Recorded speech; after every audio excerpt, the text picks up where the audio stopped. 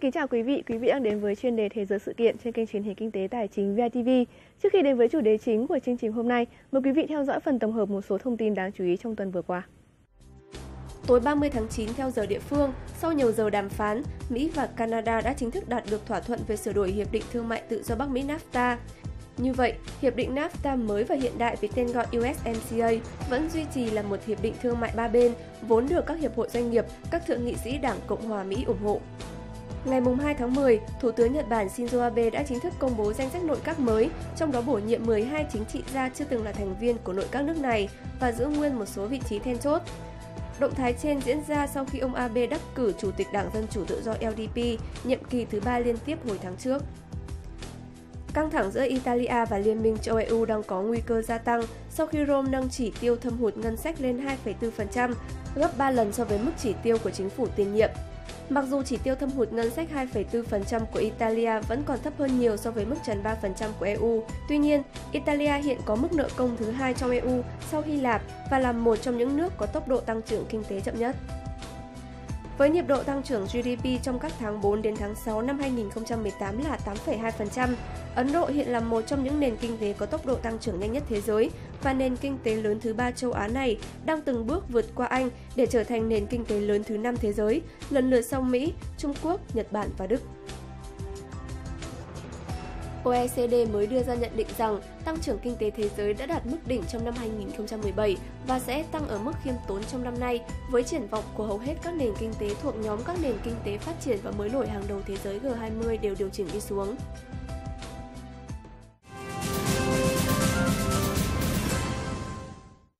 Từng là cường quốc giàu nhất khu vực Mỹ Latin với trữ lượng dầu mỏ lớn nhất thế giới, tuy nhiên giá dầu giảm và các vấn đề trong quản lý kinh tế trong nhiều năm qua đã khiến nước này chìm vào khủng hoảng từ năm 2014. Venezuela giờ quay cuồng trong lạm phát phi mã và thiếu thốn. Vậy chính phủ mới của Venezuela sẽ giải quyết cuộc khủng hoảng này như thế nào? Đây sẽ là chủ đề của chương trình Thế giới sự kiện ngày hôm nay.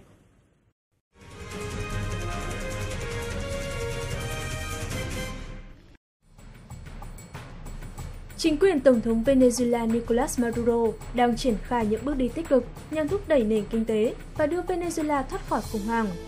Ngày 20 tháng 8, kế hoạch đầu tiên của Venezuela chính thức có hiệu lực. Theo đó, đồng nội tệ của quốc gia Nam Mỹ này được điều chỉnh giảm 5 số 0 và có tên gọi mới là đồng Bolivar chủ quyền.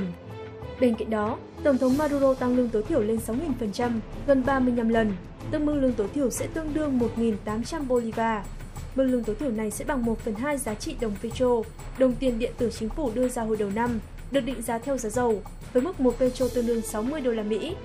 Đây là lần điều chỉnh lương tối thiểu thứ 5 trong năm qua của Venezuela, trong bối cảnh đồng nội tệ Bolivar liên tục rớt giá. Ông Maduro cũng công bố tỷ giá hối đoái duy nhất, ván neo tỷ giá này vào đồng tiền ảo petro. Tôi muốn khôi phục kinh tế đất nước và có cách. Hãy tin tôi, Venezuela cần thể hiện kỷ luật tài chính và dừng tình trạng in tiền quá mức diễn ra thường xuyên trong những năm gần đây. Chính phủ của Tổng thống Nicolas Maduro cũng điều chỉnh tăng thuế giá trị gia tăng và giảm trợ cấp xăng dầu. Về thuế giá trị gia tăng, chúng tôi sẽ đề xuất tăng thuế lên mức 16% đối với các hàng hóa cao cấp, trong khi duy trì thuế với các hàng hóa thiết yếu đối với người dân. Chuyến thăm Trung Quốc từ ngày 12 đến 15 tháng 9 mới đây của Tổng thống Nicolas Maduro được đánh giá là tích cực với 28 thỏa thuận hợp tác trong nhiều lĩnh vực được hành. Thành công của chuyến thăm Trung Quốc lần này được cho là sẽ góp phần ổn định hoạt động sản xuất dầu khí và thúc đẩy sự tăng trưởng kinh tế của Venezuela. Thưa quý vị, từ ngày 20 tháng 8, chính phủ Venezuela đã bắt đầu áp dụng nhiều biện pháp mới để ổn định lại tình hình kinh tế đất nước, đặc biệt là vấn đề lạm phát, bao gồm phát hành tiền mới song song với cải cách đồng tiền Bolivar, tăng lương tối thiểu lên tới hàng chục lần. Liệu những biện pháp này sẽ tác động như thế nào đến nền kinh tế đang suy thoái của Venezuela? Mời quý vị cùng gặp gỡ ông Jorge Gondron, đại sứ Venezuela tại Việt Nam. Rất vui được gặp lại đại sứ trong chương trình ngày hôm nay. Cảm ơn đã mời tôi quay trở lại chương trình. Thưa đại sứ, hiện tình hình tại Venezuela đang được dư luận hết sức quan tâm. Ông có thể cung cấp cho khán giả VITV các thông tin cụ thể về nền kinh tế Venezuela thời gian qua? Venezuela có truyền thống là một quốc gia xuất khẩu dầu trong suốt 100 năm qua và chúng tôi là một trong những nước thành lập nên tổ chức các nước xuất khẩu dầu mỏ OPEC. Tuy nhiên, thật không may là giá dầu đã giảm trong 3 năm trở lại đây. Và bạn biết đấy, Khi nguồn thu của một quốc gia chủ yếu phụ thuộc vào việc xuất khẩu một sản phẩm, thì sẽ dẫn đến một điều tất yếu, đó là thật khó để duy trì được sự phát triển của nền kinh tế. Bên cạnh đó, Venezuela cũng phải trải qua một số vấn đề liên quan đến chính trị. Tại sao ư? Bởi vì Đảng Cực hữu và Công đoàn đang thực hiện những hành động chống lại chính phủ liên quan đến việc phát triển kinh tế. Kết quả như chúng ta đã thấy, đó là sự thiếu hụt về những sản phẩm cơ bản, đồng tiền bị mất giá, thị trường trào đảo. Và tôi coi đó là một cuộc chiến kinh tế. Và dĩ nhiên, một hậu quả mà các nước đều biết, đó là việc tỷ lệ lạm phát tăng cao kỷ lục Chúng tôi cũng gặp nhiều khó khăn trong việc phân bổ các loại hàng hóa tới người dân và các nguồn lực kinh tế cũng đang ở trong tình trạng hết sức tiêu cực. Như vậy tôi có thể nói rằng tình trạng hiện tại ở Venezuela là hậu quả của các vấn đề chính trị và kinh tế trong suốt những năm vừa qua.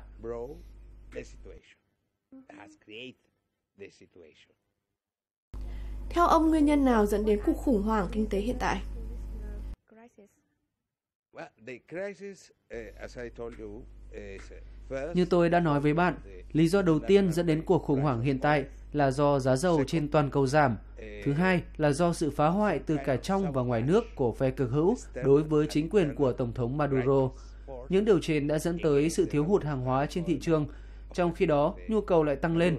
Chính vì vậy, giá cũng tăng lên khoảng gấp 2, thậm chí 3 lần và cuối cùng dẫn đến tình trạng siêu lạm phát. Rất nhiều ông chủ đã phải đóng cửa doanh nghiệp của mình và điều này tiếp tục tạo ra những tác động tiêu cực. Khi một công ty đóng cửa, sẽ có nhiều người thất nghiệp và càng nhiều công ty làm vậy thì tỷ lệ này lại càng tăng cao. Đối với vấn đề lạm phát, Venezuela đã có những giải pháp như thế nào thưa ông? Chính phủ của Tổng thống Maduro đã bắt đầu có các động thái để giải quyết các vấn đề nói trên. Trong ngày 20 tháng 8, chính phủ đã công bố một chương trình phục hồi nền kinh tế, hay như cách mà người Việt Nam nói, đó là một chương trình đổi mới. Đầu tiên, chính phủ đã phát hành đồng tiền mới có tên gọi là đồng Bolivar chủ quyền, và đồng tiền này được liên kết với giá dầu thế giới. Ví dụ, giá một thùng dầu trên thế giới là 63 đô la Mỹ một thùng, và như vậy giá trị của đồng tiền mới sẽ là 63 đô la Mỹ. Bên cạnh đó, chính phủ cũng quyết định bỏ 5 số 0 trên đồng Bolivar cũ với những biện pháp này, chúng tôi muốn kiểm soát giá cả. Chúng tôi muốn đạt được với các chủ doanh nghiệp để có thể kiểm soát lợi ích. Bởi vì bạn biết đấy, chủ các doanh nghiệp tại Venezuela, họ không có nhiều ý thức về cộng đồng. Những gì họ muốn là 100% hay thậm chí là 1.000% lợi nhuận. Bởi vậy, chúng tôi cần phải thỏa thuận với họ để đạt được sự kiểm soát về giá cả. Dĩ nhiên, khi làm ăn, bạn có quyền để có lợi nhuận, song nó phải hợp lý và được kiểm soát đúng mực. Còn đối với các công ty vừa và nhỏ, chính phủ sẽ giúp đỡ bằng cách trả số lương tăng cho nhân viên trong vòng 3 tháng. Như vậy, các công ty SME sẽ có thời gian để thích nghi với tình hình. Một điều quan trọng nữa, đó là Venezuela có hệ thống đổi tiền tệ và người dân có thể đến để đổi tiền một cách tự do. Và trong thời gian tới, chúng tôi cũng sẽ lắp đặt những thiết bị này tại các quốc gia khác nữa dựa trên một cơ sở hợp lý. Ngoài ra, chính phủ cũng khuyến khích các công ty tư nhân nhập khẩu hàng hóa đồng thời tạo điều kiện cho các công ty nước ngoài tới và bắt đầu hoạt động tại Venezuela. Có thể thấy chúng tôi đã thay đổi chính sách khá nhiều. Một điều nữa, với loại tiền tệ mới, chính phủ cũng quyết định tăng lương cho người dân. Tổng thống Maduro cũng đưa ra chỉ thị về việc có những sự giúp đỡ cụ thể đối với các hộ gia đình nghèo trong 3 tháng để họ dần vượt qua những khó khăn hiện tại. Tuy nhiên, không phải lúc nào cũng dễ dàng khi thực hiện những biện pháp hay chính sách mới. Sẽ có những nhóm chính trị gia hay có những người sẽ cố phá hoại những kế hoạch của chính quyền. Họ sẽ nói không, tất cả chỉ là lừa dối, mọi thứ sẽ tồi tệ hơn. Nhưng tôi cho rằng phần lớn người dân tại Venezuela đều có quan điểm đồng tình với chương trình của Tổng thống Maduro và chúng tôi hy vọng có thể vượt qua được tình hình này và nền kinh tế sẽ quay trở lại trạng thái bình thường.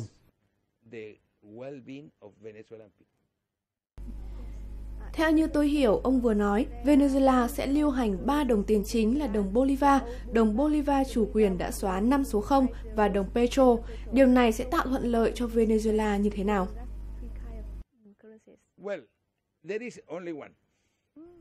Ồ, chúng tôi chỉ có một đồng tiền thôi, đó là đồng Bolivar chủ quyền. Hiện tại chúng tôi vẫn dành thời gian cho người dân để họ có thể đổi đồng tiền cũ, lấy tiền mới. Điều này là vô cùng quan trọng. Và loại tiền thứ ba mà bạn nhắc đến, đó là tiền ảo. hay còn gọi là petro, trên thực tế là một cách để tham chiếu tiền tệ. Như tôi đã nói trước đó với bạn, đồng tiền mới của chúng tôi được liên kết với giá dầu trên thế giới.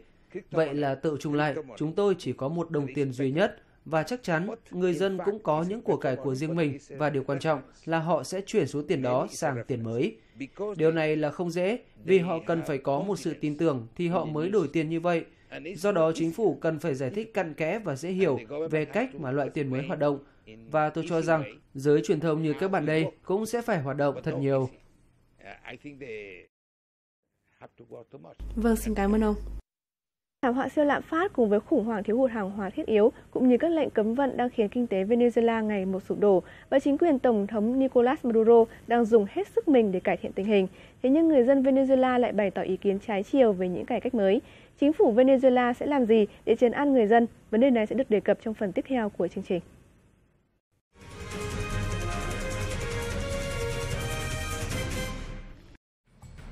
Nhiều bất ổn và lo lắng đã bùng phát tại Venezuela sau khi Tổng thống Nicolas Maduro công bố kế hoạch cải cách kinh tế sâu rộng. Sau tuyên bố của Tổng thống, mọi người đều cố gắng mua thực phẩm nhiều nhất có thể, nhưng không ai tính đến chuyện sẽ làm gì nếu như số đồ ăn đó hết hạn. Với cương vị là chủ của một doanh nghiệp nhỏ, tôi nghĩ rằng mình sẽ bị phá sản vì tôi sẽ không thể mua vật tư với mức giá đó. Kể từ bây giờ, tôi nghĩ rằng tôi chỉ có thể hoạt động kinh doanh cho đến khi tôi hết hàng hóa. Nghiêm trọng hơn, việc tăng lương tối thiểu đang khiến một loạt doanh nghiệp hoặc chủ cửa tiệm tại Venezuela phải đóng cửa. Mặc dù điều chỉnh tiền lương là cần thiết, song mức tăng 3.500% là quá nhiều, không hề phù hợp với nền kinh tế đang suy yếu nghiêm trọng như Venezuela. Nếu không kiểm soát được siêu lạm phát, những chính sách của chính phủ sẽ hoàn toàn phản tác dụng.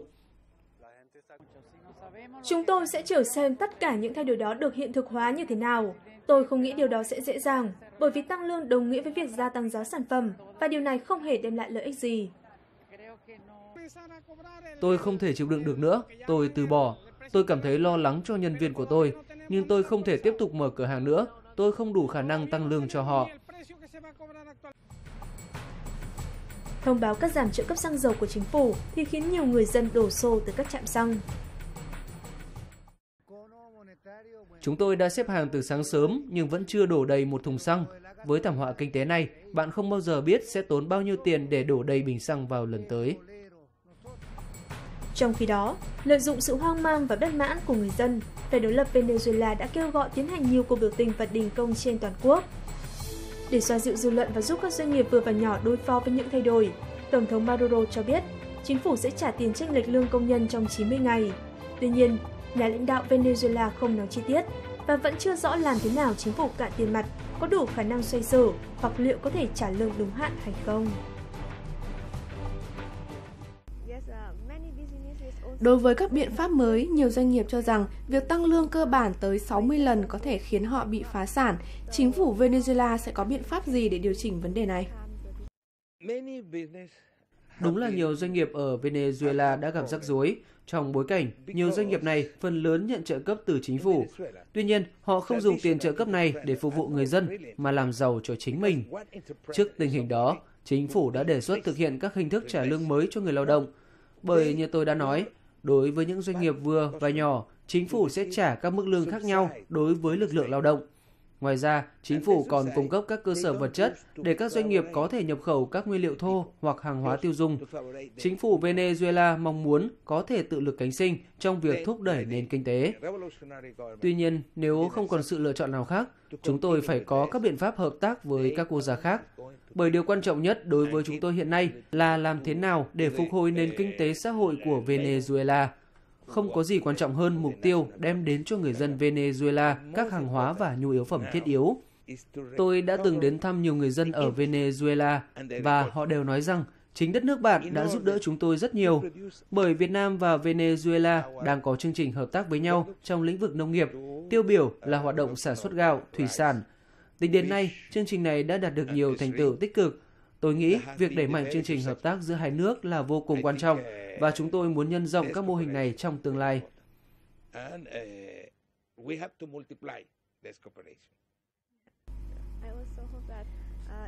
Ngoài ra, vấn đề dầu mỏ bị giảm sản lượng cũng đang cần được quan tâm.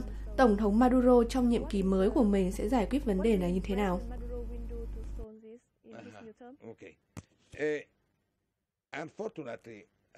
Như tôi đã nói, thật không may, nền công nghiệp chính ở Venezuela là dầu mỏ.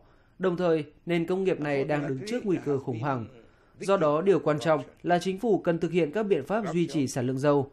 Điều này đồng nghĩa với việc chính phủ phải chi ngân sách để duy trì nguồn cung dầu mỏ, bởi nếu không có tiền, công tác duy trì sản lượng sẽ không được thực hiện đúng cách, qua đó ảnh hưởng đến tình hình sản xuất dầu và có thể khiến cho ngành công nghiệp dầu mỏ ở Venezuela sụp đổ. Ngoài ra, như tôi đã nói với bạn, giá dầu trên thế giới đang sụt giảm rất thấp. Trước tình hình đó, chính quyền của Tổng thống Nicolas Maduro đã thay thế ban giám đốc của công ty dầu khí PDVSA Ngoài ra còn cung cấp thêm ngân sách để vực dậy ngành dầu mỏ. Kết quả là, trong vài tháng trước, sản lượng dầu của chúng tôi rơi vào khoảng từ 1 đến 1,5 triệu thùng một ngày. Nhưng đến thời điểm này, sản lượng dầu đã tăng lên là 2 triệu thùng một ngày. Đây là một số liệu hết sức thú vị, bởi trước đó chính phủ Venezuela cam kết sẽ nỗ lực đạt được hạn ngạch về sản xuất dầu thô. Và hiện tại, con số này là vừa đủ. Chúng tôi không cần phải sản xuất thêm dầu nữa. Tuy nhiên tôi cũng cần phải nói thêm rằng ngành dầu mỏ của chúng tôi còn là nạn nhân của những âm mưu phá hoại đất nước. Bởi nếu như trước kia, rất nhiều nguyên liệu đầu vào được chúng tôi nhập khẩu từ Mỹ, thì nay chúng tôi lại phải nhập khẩu từ các quốc gia khác như Nga, Thổ Nhĩ Kỳ hay Trung Quốc trong bối cảnh Mỹ đã ban lệnh cấm vận Venezuela. Ngoài ra, Mỹ còn áp đặt các lệnh cấm vận Venezuela trong lĩnh vực tài chính. Chúng tôi đã gặp rắc rối trong việc mua các hàng hóa cơ bản, trong đó có thuốc men, Chính phủ đã chi rất nhiều tiền để mua thuốc men. Tuy nhiên, các giao dịch đã bị đình trệ do lệnh cấm vận của Mỹ. Tất cả điều này bắt nguồn từ việc chúng tôi có chính sách lãnh đạo vô cùng khác biệt so với các quốc gia châu Mỹ khác. Giống như Venezuela, Cuba cũng là quốc gia phải hứng chịu các biện pháp trừng phạt từ Mỹ. Tuy gặp nhiều khó khăn, song tôi tin tưởng rằng chúng tôi sẽ mau chóng vượt qua bởi chúng tôi còn có rất nhiều đồng minh thân thiết.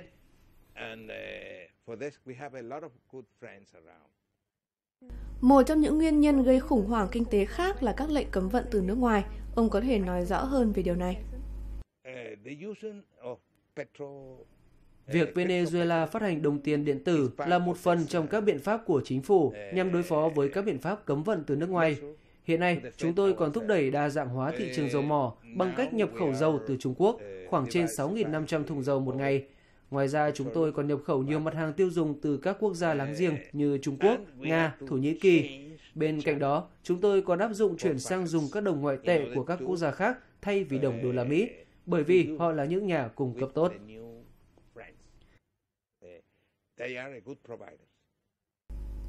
Các quốc gia khác có quan điểm thế nào về tình hình hiện tại thưa ông?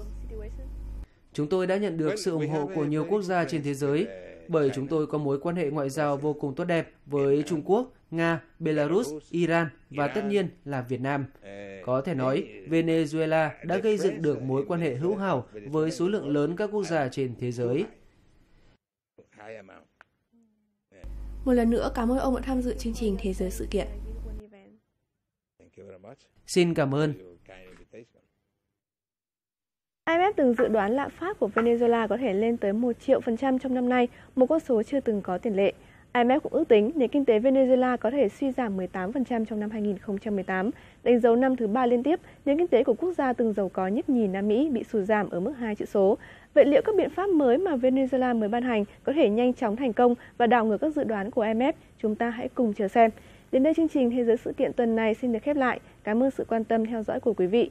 Quý khán giả có thể xem trực tuyến hoặc xem lại chương trình trên website vtv.vn hoặc cập nhật thông tin qua Facebook của kênh truyền hình kinh tế tài chính VTV. Xin kính chào tạm biệt và hẹn gặp lại.